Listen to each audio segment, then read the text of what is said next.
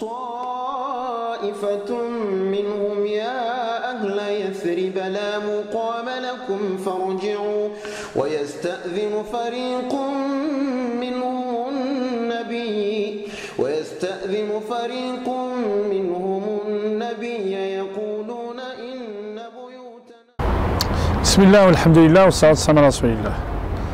Mes chers sœurs, mes chers frères, salam alaikum wa rahmatullahi ta'ala wa barakatuh. On raconte que Omar ibn Khattab, qu'Allah a gré, quand il rencontrait Abu Musa al-Ash'ari, qu'Allah les deux grands compagnons, il lui disait Vakirna Rabbana. Il lui disait Rappelle-nous notre Seigneur.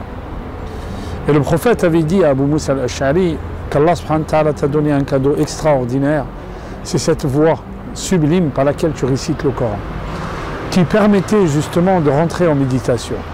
Cette année, Inch'Allah, après deux années de confinement, nous allons essayer, Inch'Allah, de célébrer le Ramadan dignement par célébrer justement sa méditation et sa récitation.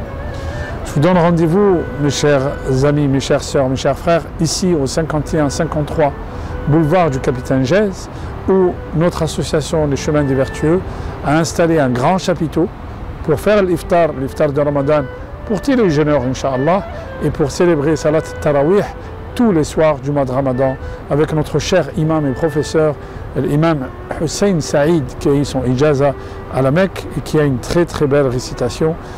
Nous vous donnons rendez-vous, Inch'Allah, le premier soir du Ramadan. Soyez les bienvenus, parlez-en autour de vous et qu'Allah nous facilite et nous agrée notre, notre jeûne et notre salat. Barakallahu fikum et à bientôt, Inch'Allah. Assalamu alaikum wa rahmatullahi ta'ala wa barakatuh.